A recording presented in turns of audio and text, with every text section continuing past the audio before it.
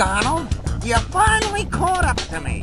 What do you say you and me have a little competition? If you can beat all my time records in this area, then I'll give you something worth running for. Okay, Donald? By the way, good luck.